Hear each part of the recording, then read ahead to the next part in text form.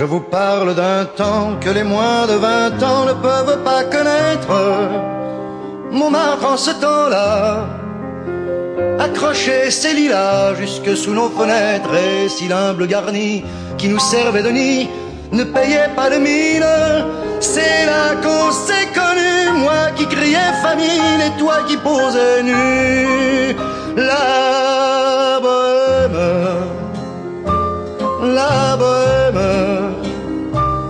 Ça voulait dire on est heureux. La bohème, la bohème, nous ne mangions qu'un jour sur deux.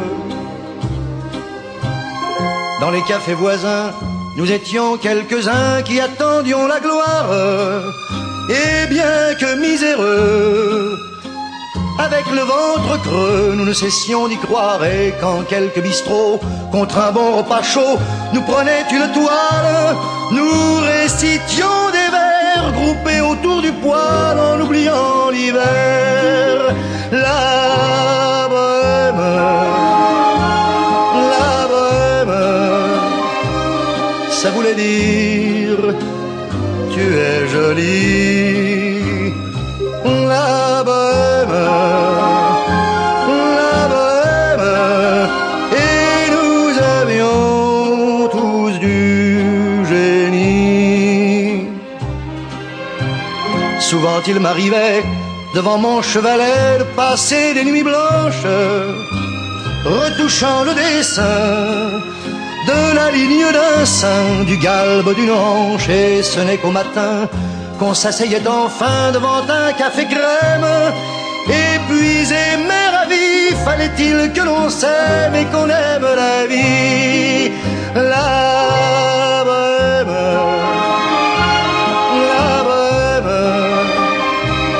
ça voulait dire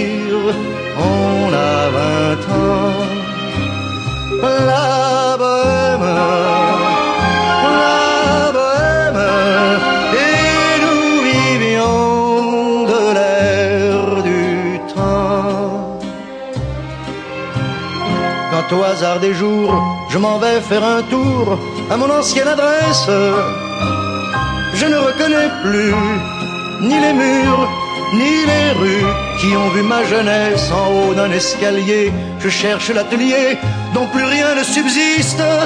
Dans son nouveau décor, Montmartre semble triste et les lilas sont morts.